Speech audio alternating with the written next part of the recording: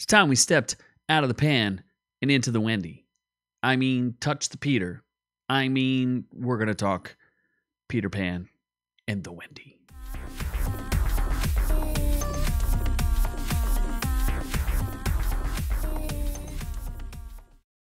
Now, I know, I know most of you have not watched that piece of garbage that is Peter Pan and Wendy, but I figured since I tortured myself with it, I would share with you my thoughts because there is a conspiracy afoot that we may need to be aware of. Uh, now, I'm the man you may know, Z from Our Reviews Will Kill You. Thank you for checking us out here.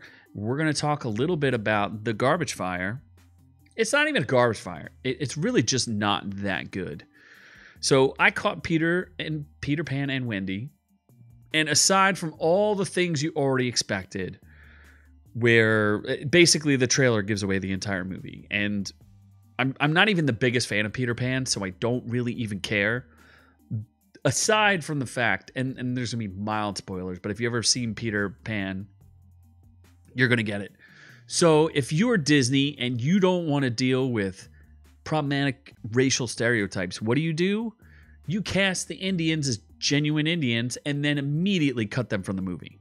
Yeah, they have like one scene, right? And Tiger Lily's in it, but she's like super awesome warrior pro. There, there's a lot of there's a lot of stuff wrong with this.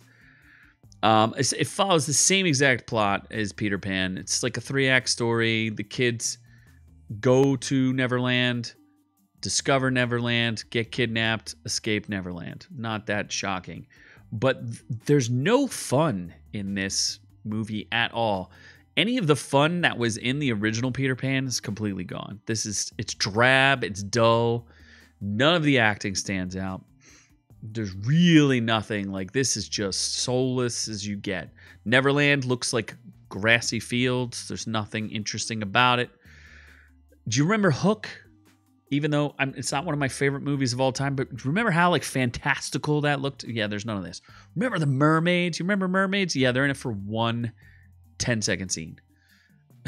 if you have problematic mermaids, what do you do with them? You get rid of them. Uh, see, like Tinkerbell, people are pissed about Tinkerbell and the, and the swapping.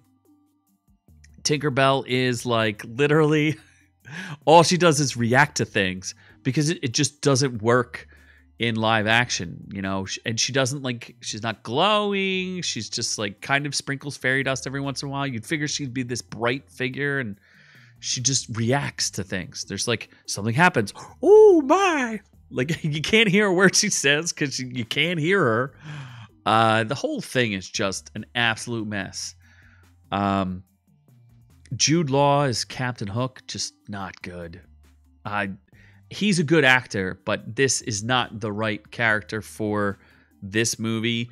They try to give him, they try to make him, as they do with all the Disney films now, they try to make the villains sympathetic. I don't know what that's all about. I don't know what they're doing. It's it's all very very strange. And then, as uh, I said in my short, which will be coming out shortly, probably the same day that this comes out, you'll see that Wendy is the second coming of Rey Skywalker. She can already sword fight and she can already do all the things. She can lift boats. Do there's this power is not for boys. It's a, it's a whole thing. It's a whole thing. You should not waste your time on this. And like the whole Lost Boy thing, there's girls in it. It's irrelevant kid with Down syndrome, irrelevant. Doesn't matter. It's fine. They don't do anything. They're not impact. They have no relevance to the plot. The only thing that was mildly cool was the alligator, and the alligator was too violent for children because it's literally eating all of the pirates. It's pretty ridiculous and violent. it's scary, I guess. I don't know. I don't know what they were going for, but guess what? They don't have time for that because the alligator's only in it for one scene none of it. It's just not good. Not good at all. They're so busy uh, trying to undermine Peter. Peter, as I said, he rides bitch in his own movie. He's just he's just not he's not there to be a hero. He's kind of a punk, which he's kind of a punk in the original movie, but he's also hit the choreography on all his fight scenes are terrible. It's just not good. It's not good. But what I think is the more interesting component and I, I wish I had my short for reference, and I don't. But I will de- describe it to you because um, I'm going to show you something first. We're going to take a look at this. And if you recall, in the previous Pinocchio, we had a scene where Pinocchio, for no reason at all, starts smelling horse poop and wants to play with horse poop, and nobody knows why. But it's this total scene that kind of takes you out of the movie where you're like, why is he checking out horse poop? And it's almost one of those things that's like meta commentary on the film itself. Like, why is he so obsessed with this? Why is he checking out horse poop? Are you trying to tell us something? Because I watched that one too. And what's fascinating, so let's just say it, it like took me out of the film, right? Here you have Peter Pan, or not, I mean P- Pinocchio, literally playing with crap. Is someone in Disney trying to tell us something? Because I kid you not, there is a scene in Peter Pan where one of the pirates, Peter and, and Hook, are about to fight. And one of the pirates has a close up and he goes, Somebody wake me up when either one of them kills each other again. I'm going to sleep.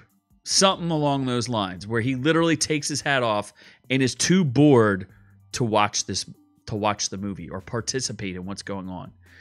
It was one of those things that completely caught me off guard and threw me to make me think like are they talking about the movie? Are they talking about this movie? Is this meta commentary but beyond meta?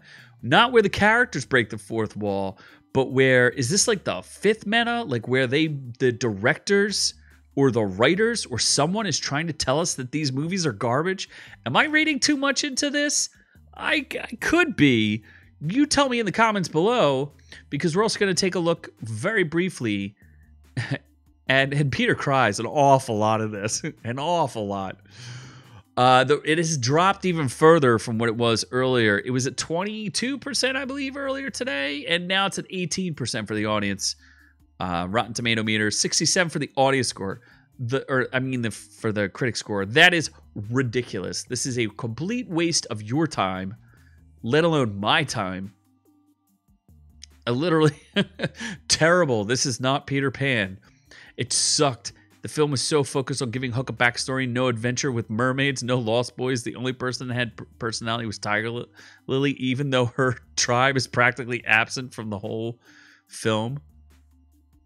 Yeah, this guy saying his kids are bored. Exactly.